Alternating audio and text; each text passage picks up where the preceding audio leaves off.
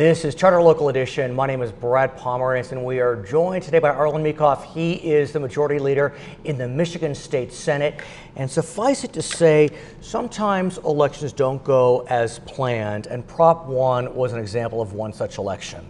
Uh, the voters turned against it, only offering 20% support. What do you make, sir, of the voters' decision? How do you analyze it? Well, I think we heard from a, a vast range of folks. Some said no taxes. There certainly was an element Sure. of that. Some said, I don't like the fact that you put more stuff in there. Another group said, if it was only for roads, I think I could Right. pay more. Another group that basically said, it's so confusing, I'm just going to vote no.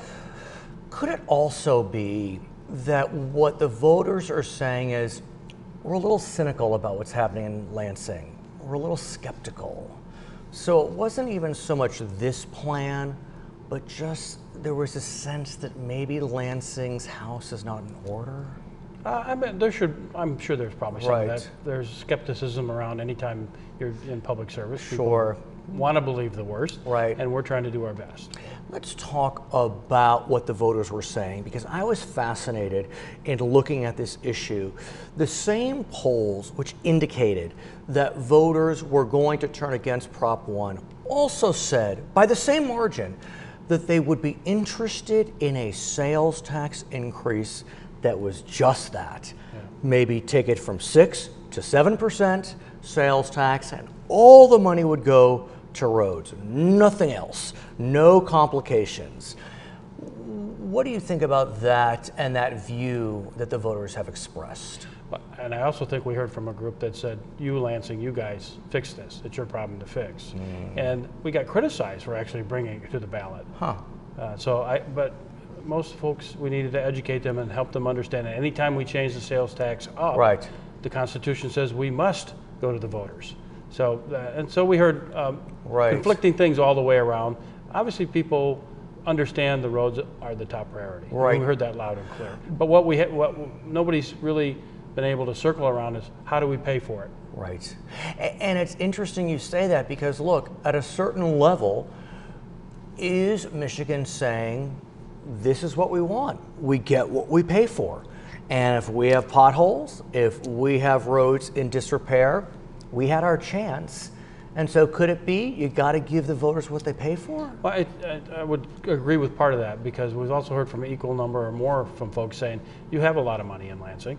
Figure out how to reprioritize But- the but- money that you have. But do you, though? I mean, look, it's easy to say, oh, you oh, just I'm, passed. say- I'm yeah. saying you're right. It, it's easy to say that. We have $54 billion Exactly budget, right, right, right. But really, after you whittle it down and after your tax money comes back from the federal government and the matching stuff, we have about $9 billion. which- Earmarks, for example, or, or not, not earmarked, But- but, it's matching funds so Right. that your tax money is used appropriately.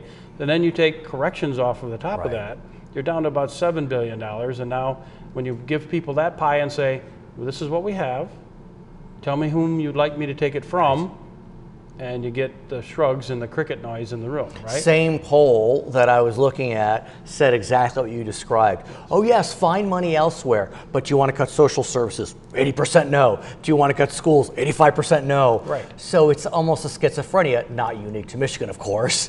You know, it, it, it's a common story. But I do want to get back to the sales tax issue because, again, it does appear that if Prop 1 had been just 6 to 7%, all money to roads, it may have gone differently.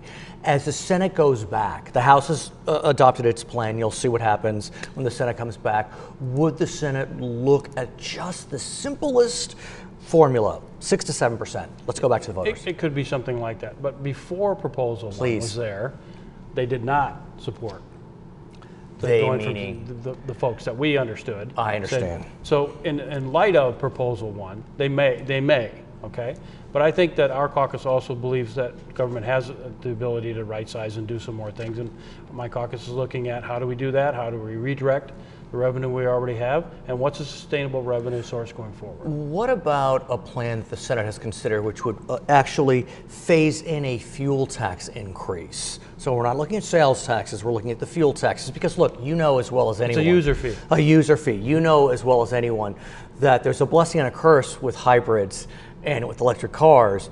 The blessing is maybe not as many, you know, pollutants coming out. The curse is people aren't using as much gas, which means you're not collecting as much fuel tax. Right, because our sales tax, or excuse me, our fuel tax is flat. It's per gallon. Right. And many have said, and I agree, if we'd added just the inflation factor 17 years ago, we'd have just short of a billion dollars more to spend on roads.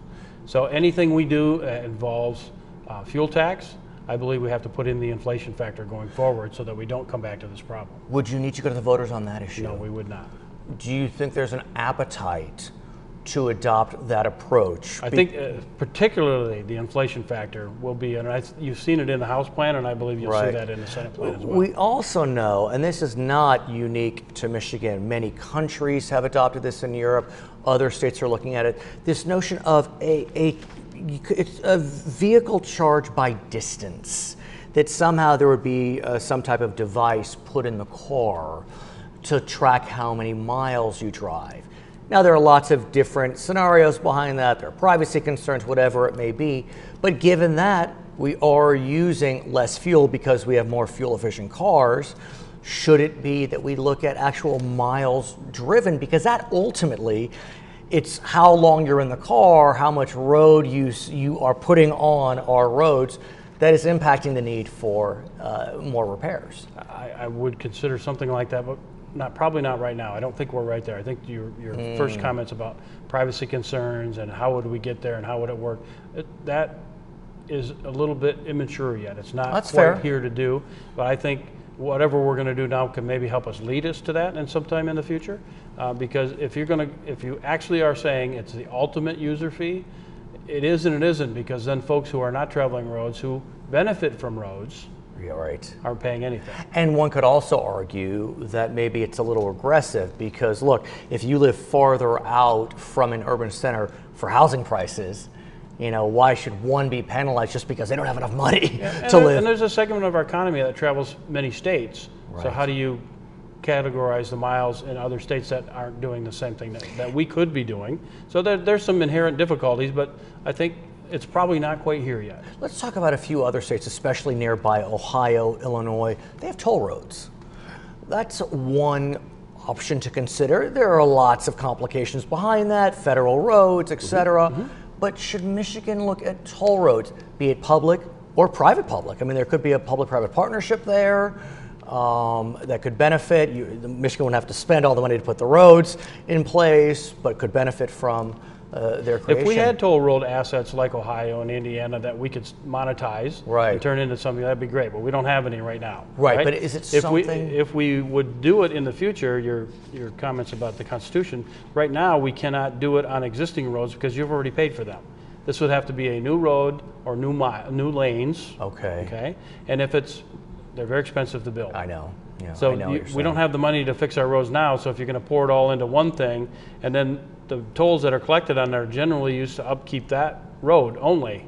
They don't throw off a lot more funds to help the other roads. So is it possible? Yeah, I'm sure. Would you, would you think about a, an additional lane from 94 from Detroit to Chicago? Sure, maybe you do that as a fast pass thing.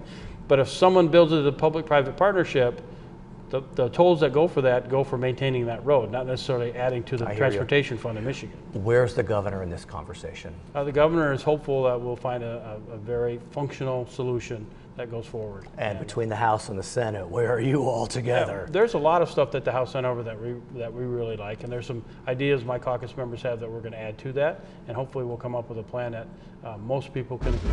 His name is Arlan Meekhof. He is the Senate Majority Leader in the Michigan State Senate. My name is Brad Palmer. So glad you joined us today on Charter Local Edition.